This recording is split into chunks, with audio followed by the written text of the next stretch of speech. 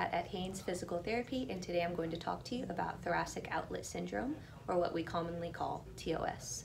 So, thoracic outlet syndrome basically refers to a compression of some neurovascular structures that exit your thoracic outlet. So, your thoracic outlet, if you will, is basically just a passage made of different structures that kind of is in the neck area, a little bit at the front of the shoulder here. Um, but basically, what happens is you get some compression in this area, which will give you symptoms further down. Clinically, a lot of what we see, um, not all the time, but um, with TOS, people are going to have numbness, tingling, shooting type pain, and it's typically over here, kind of on this side of the hand. A couple important structures are in that thoracic outlet. So some of those include your subclavian artery and vein, so some blood vessels, along with your brachial plexus, which is basically a big nerve bundle that kind of stems from the spinal cord, lower cervical, um, area and it comes across. It sends signals into the shoulder, the arm, all the way down into the hand, which is why you'll get these symptoms down here. Uh, commonly, another finding we'll have is that sometimes people who have these issues tend to sleep in this position on top of the arm with it overhead. You can even have a fall uh, with the arm in that position, or you can sleep kind of forward, curled up with that shoulder protracted. So there's a lot of things you can do in the clinic, um, a lot more than what I can show you in this video if you actually go somewhere, find a good PT. Um, but I'll show you a couple things that you can do to help with these symptoms in the event that you start experiencing them at home. Okay, so back to that brachial plexus, um, that nerve bundle. There are, are, three main nerves that kind of run from that all the way down to the hand. Um, those being your ulnar nerve, your radial nerve, and your median nerve. So that ulnar nerve is kind of your funny bone nerve that we all tend to kind of bang right there on the elbow and you get that stuff into your pinky and ring finger. Um, just a disclaimer with these, so I'm going to show you some nerve glides or nerve flossing techniques. So these are really gentle. What you don't want to do is immediately jump into stretching a nerve or pushing into pain that can actually flare up or irritate your symptoms. So the first time you do these, I just want you to do 10 and not push beyond that. And even when you're doing them, like don't be really aggressive, be super, super gentle. So I'd probably just do 10 of each of what I'm gonna show you um, and just see how you feel after that and into the next day before trying to step anything up. Um, so we'll go through these and then we'll also show you a way to kind of progress them into a nerve tensioner, which is more of a stretch. Uh, we don't want to start there though, so let's go ahead and talk about a nerve glide, starting with that first guy, the ulnar nerve. So this one, you get to feel a little bit fancy, like you're sipping tea, pinky up. Um, but basically what you're doing is, kind of like Tyler showing us here, you're going to come back until you get a little bit of a pull, if you do get a pull, kind of into this area, the pinky and that side of the hand. So yeah, you'll just get 10 of these, kind of coming back and forth really gently. Make sure to kind of keep your neck in neutral so you're facing forward. Perfect. So you sip tea 10 times. And then um, later down the road when you're not flared up and if you want to kind of get more of a stretch or do a nerve tensioner, you can kind of do this birdman sign. You're going to come all the way up like this. You should be getting a pretty good pull with this one.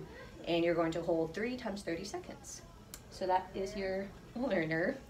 And then what you can do is also get after that radial nerve. So this one, you kind of do this waiter's tip position. So you might want to actually stand for that one. Yep, you got it. Yep, so as you can see, he's kind of got his hand backwards like he's about to get a tip. And then you basically just kind of reach back until you get a little bit of a pull. Same thing, try and keep that neck in neutral. So perfect. Yeah, you got it. So 10 nice and easy of those so you get a very gentle pull. And then what you want to do, um, if you want to get a little bit more of a tensioner or a stretch out of it is a couple ways. You can either go back to that tension position here, or you can even get against a wall um, just to kind of prop this guy up and stabilize it. And then what you do once you have that stabilized is you're going to side bend at the neck away. And you're too tall, skip that. yeah, so you're going to come here and then side bend away. Perfect. So whenever you get to these tensioners or the stretches, you're going to do three times 30 seconds if you can tolerate that. And yeah, perfect. Okay, so that was your ulnar nerve, your radial nerve. Um, let's talk about your median nerve. So this is that carpal tunnel nerve, or that's how most people hear about the median nerve. But for this one, if you want to do um, nerve glides, a mobilization type deal, what you're gonna do is essentially kind of come up like you're carrying a tray or something. Probably, yeah, right about there.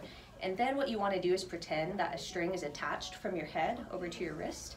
So whenever that arm comes down, you're going to take the head with it and then come on back. So you're going to try and repeat that very gently 10 times. Again, you don't want to push into pain or anything. Basically just threading that nerve through all of those structures. Perfect. Okay, so we got that. So on the flip side, once we want to jump to a tensioner, um, get a little bit of a stretch out of it, what we can do here is kind of similar to what we did with the radial. If you want, you can get, you know, on a wall kind of stabilize that hand there. Yeah, so you want to try and keep that in extension, and then what you're going to do is side bend away. Right there. You feeling it? Yeah, okay, and you should get a pretty good little burn there. Um, but again, I wouldn't start with those. I would start with the um, nerve glides. So those are three things along with progressions that you can do as far as those uh, nerve goes and getting those moving and mobile. Um, but another thing that you can do is address posture. That is huge because typically people are in this position, but we need to get them to this position. Yeah, that's it. So what you can do is, if you do have one of these little deals, it's just a foam roll that's kind of cut in half and wrapped in duct tape. Very fancy technology. Or you can get um, a towel just rolled up, basically just something to kind of get on. What you want to do is get this and then line it up with the center of the spine. So you can lay it down somewhere. Get on this guy and then basically you just chill out. So hands down, good. And then you just hang out here for two minutes. So what this is doing essentially is kind of opening up those spaces and helping us out with that compression that's going on. So there's a lot more that you can do, you know, if you're in the clinic with a PT, but these are a couple things that will hopefully get you started and get you some relief from your symptoms. Okay.